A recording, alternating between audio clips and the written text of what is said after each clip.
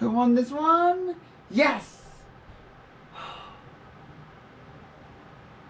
that was close.